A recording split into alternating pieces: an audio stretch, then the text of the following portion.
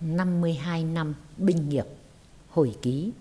Tác giả Lê Hoàng Phúc, Giọng đọc Hải Yến, Số 7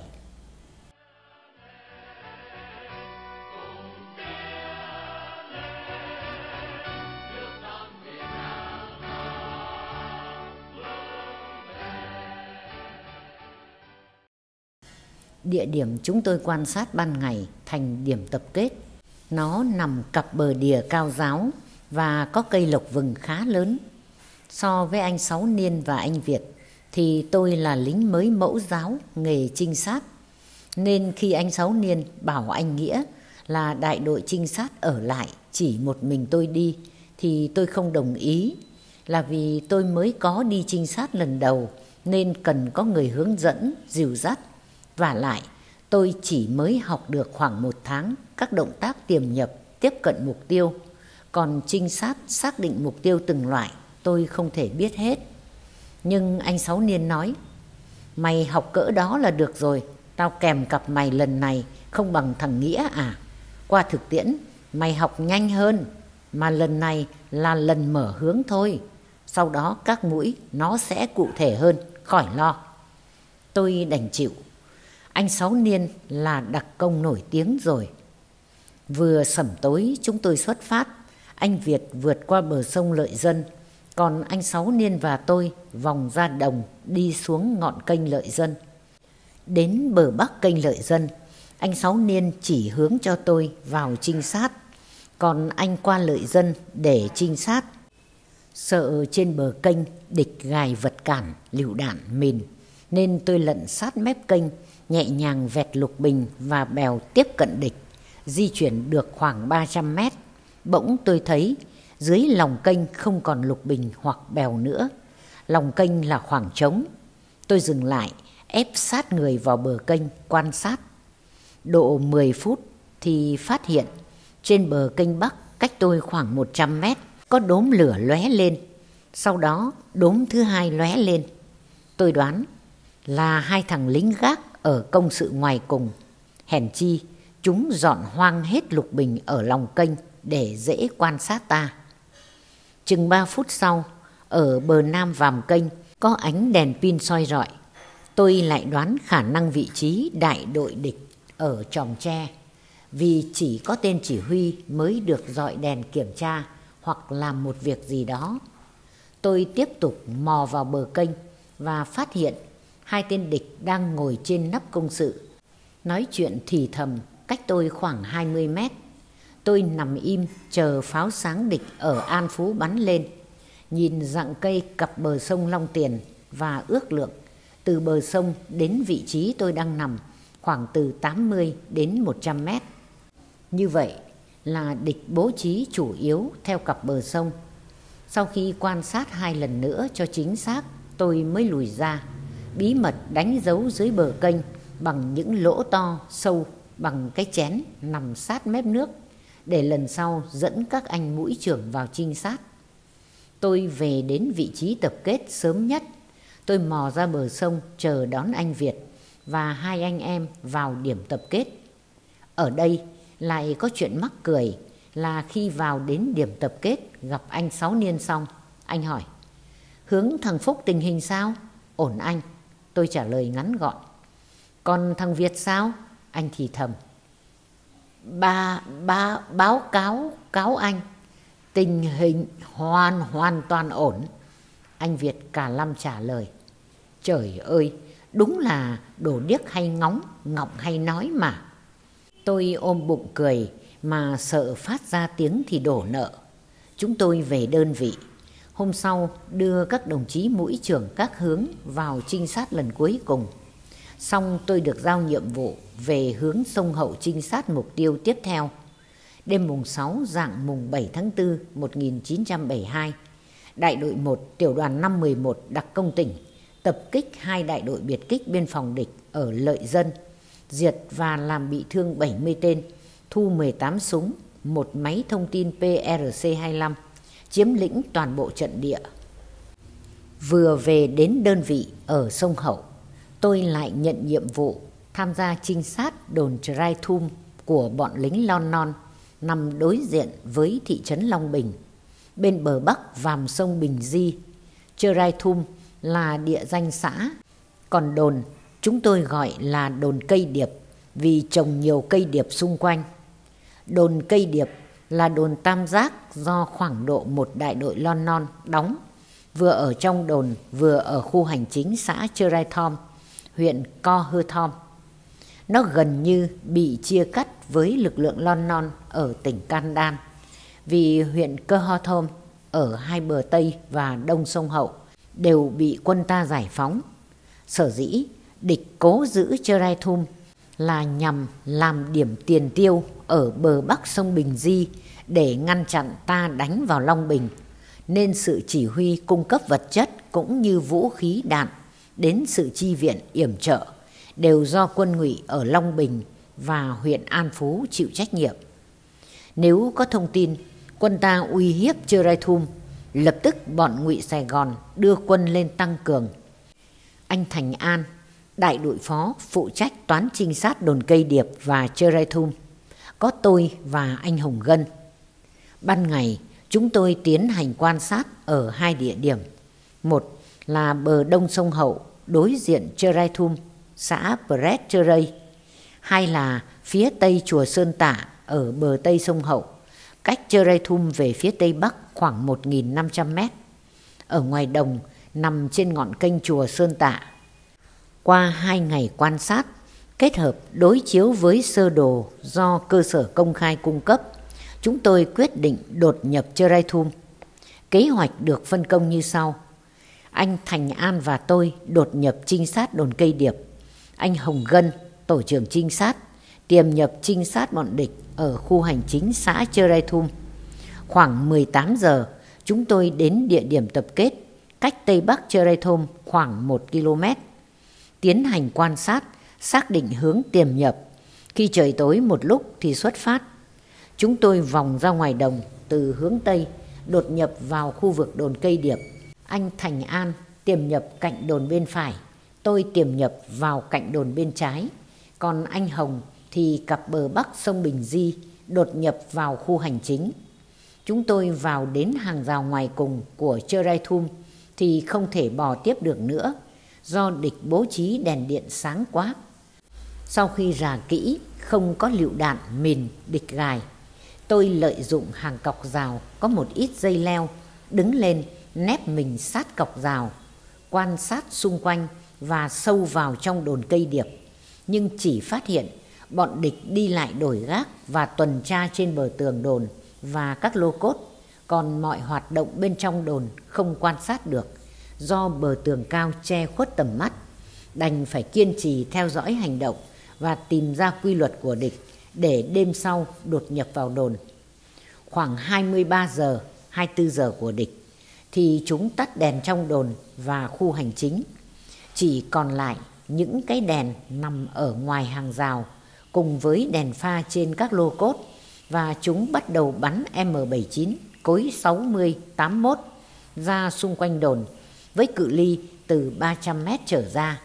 Xen kẽ là những quả pháo sáng. Cứ như thế, địch bắn lai dai, có lẽ theo phiên gác. Đến khoảng 3 giờ thì ngưng. Tôi quay ra đến điểm tập kết thì cũng vừa lúc anh Thành An và anh Hồng vừa đến. Các anh cũng hành động gần giống như tôi lúc tiềm nhập.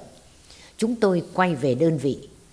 Hôm sau, ba anh em đến điểm tập kết Tôi đề xuất là do địch thường xuyên bắn hỏa lực từ 23 giờ trở đi ra xung quanh đồn. Anh em mình, ai trinh sát mục tiêu xong còn sớm thì nên nằm lại trong lớp hàng rào ngoài cùng. Đến khi địch ngưng bắn mới ra điểm tập kết để tránh rủi ro khi địch bắn ra xung quanh. Các anh đồng ý. Tôi tiềm nhập vào hướng đêm trước, nhưng rất cảnh giác vì không biết đêm rồi khi lùi ra, mình có ngụy trang kỹ không. Nếu nghi ngờ địch sẽ phục kích hoặc gài mình là nguy. Bởi so với hai anh kia thì tôi còn non lắm. Vừa mò tôi vừa quan sát kết hợp dùng động tác dò mìn. Chính sự thận trọng mà tôi phát hiện thêm điều mới, phân bò. Thì ra hàng ngày Địch cho dân thả bò ăn xung quanh đồn, vừa làm chống địa hình, vừa quan sát dấu vết lạ, báo cho chúng. Đến hàng rào ngoài cùng, quan sát một lúc, chọn đường hướng, tôi bắt đầu đột nhập. Tôi già theo các dây hàng rào đơn, xem địch có gài trái nổ hoặc trái sáng không. Sau đó, mò xuống đất đoạn mình định chui qua, xem chúng có gài mìn zip không, để tháo gỡ, đánh dấu khi bỏ ra thì gài lại cho chúng. Nếu mất dấu hoặc sai lệch là địch nghi ngờ ngay.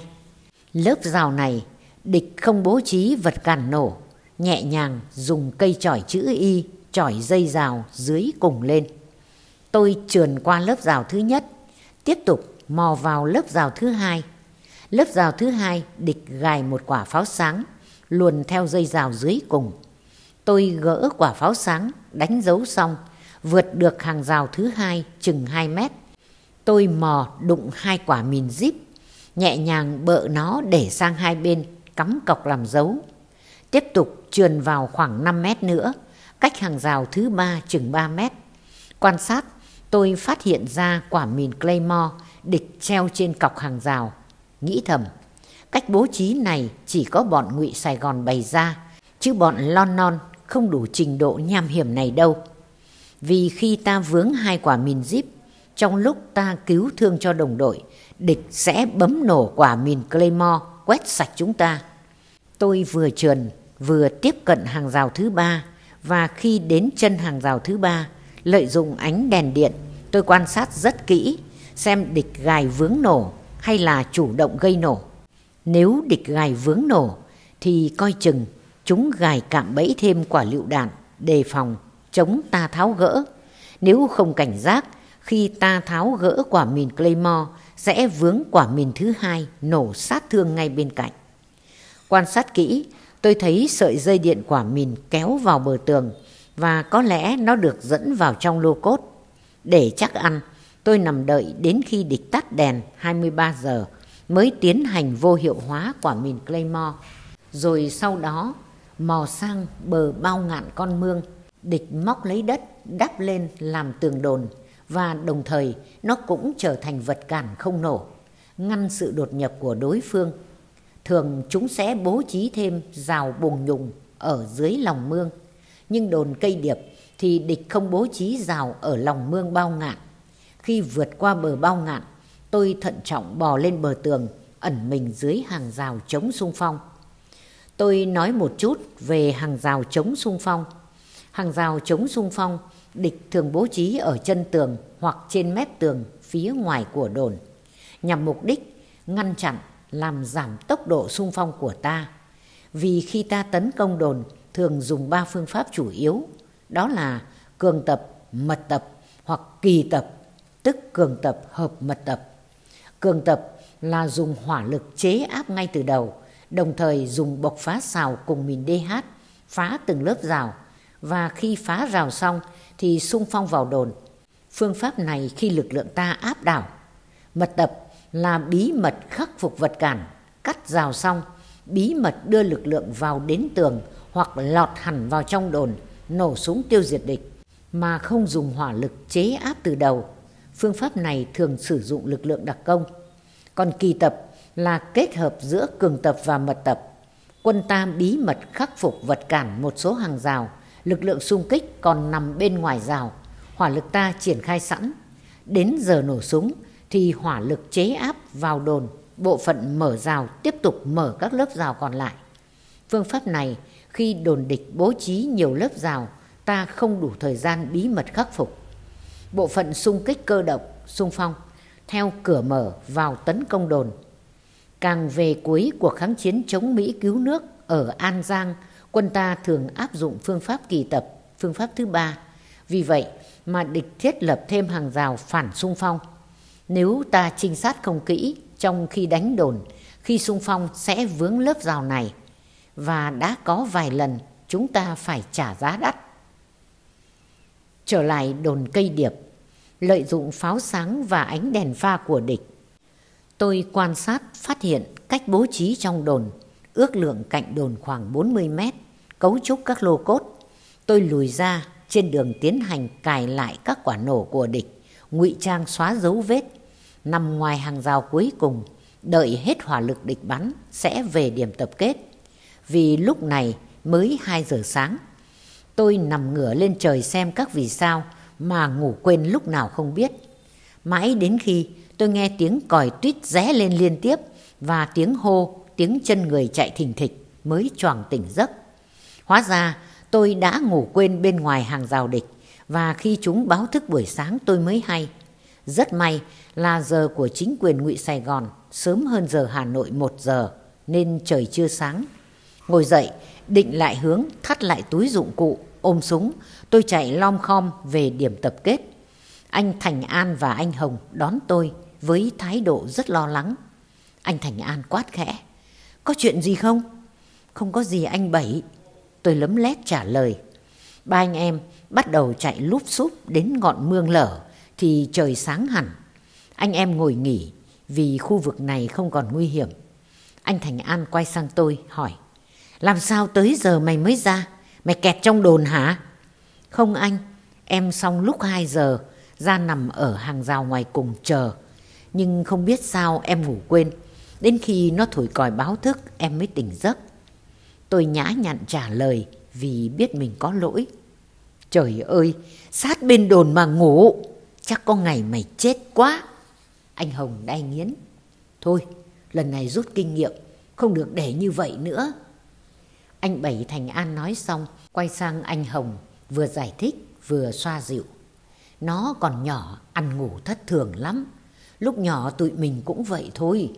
Mày thấy tao nhận định đúng không? Nếu nó bị bắt là địch sẽ báo động ngay liền. Thôi, về đơn vị.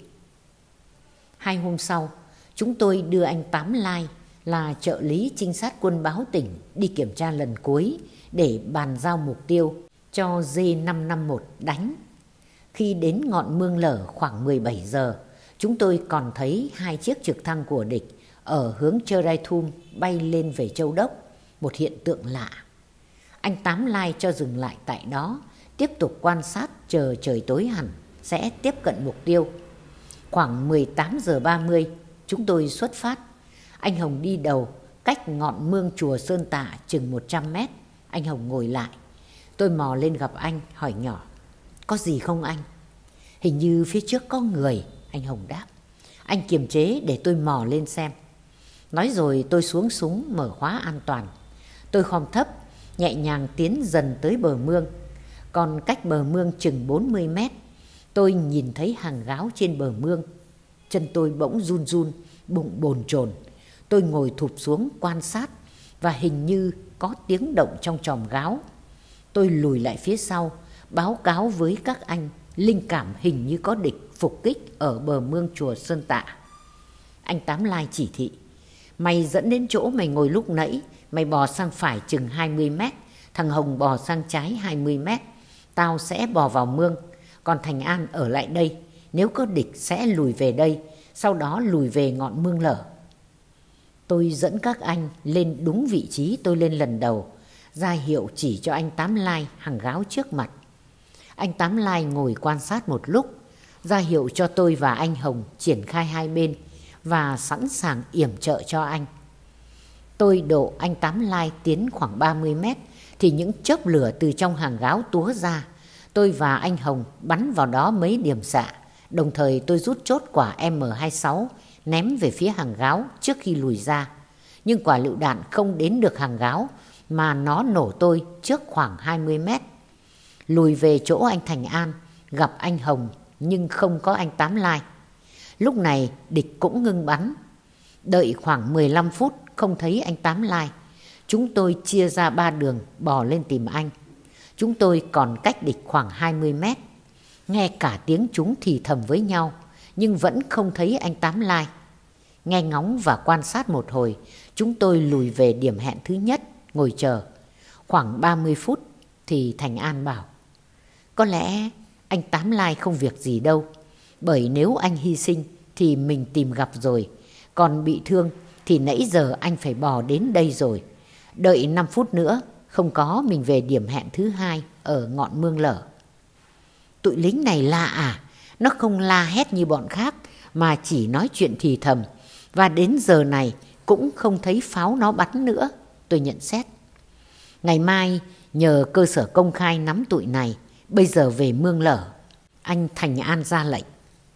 Chúng tôi quay về, còn cách ngọn mương lở chừng 50 mét thì có ám hiệu hỏi bằng tiếng trích kêu. Anh Hồng đáp lại đúng ám hiệu và gặp anh Tám Lai ở đây đang chờ chúng tôi. Anh Tám Lai thuật lại. Khi anh bò vào cách bờ mương chừng 20 mét, ngửi thấy mùi lạ. Anh mò lượm cục đất, ném vào đám gáo và lăn sang trái. Khi địch bắn, anh chạy về sau luôn. Có lẽ do chúng tôi mải bắn nhau với địch nên không thấy anh Tám Lai chạy ra. Chúng tôi về căn cứ.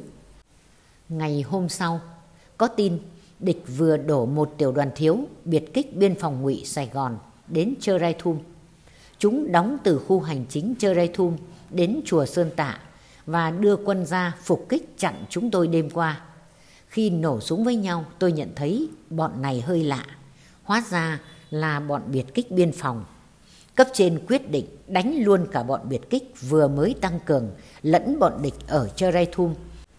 Nhưng có lẽ phần địch ở khu vực này đột ngột tăng thêm nhiều quân số khoảng 250 tên và đối tượng là bọn biệt kích, đồng thời cũng có thể do công tác trinh sát của ta chưa kỹ mà hạ quyết tâm đánh. Đêm 20 dạng 21 tháng 4 1972, tiểu đoàn 511 nổ súng tấn công đã không dứt điểm được. Ta hy sinh 7 đồng chí và 10 đồng chí bị thương.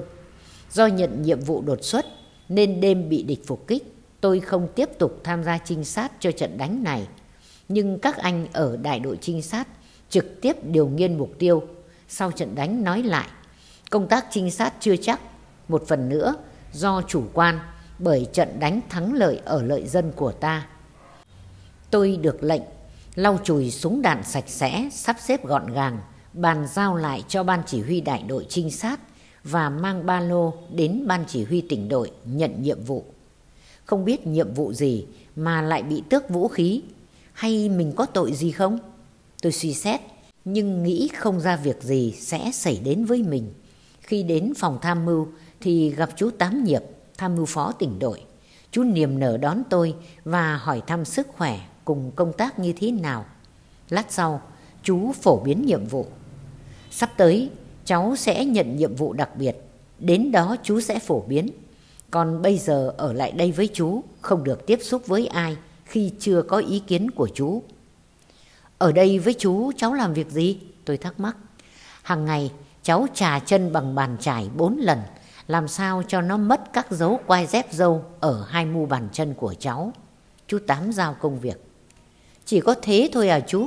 Tôi vẫn thắc mắc. Còn nữa, chú Tám Nhiệp cười cười với tôi rồi nói tiếp.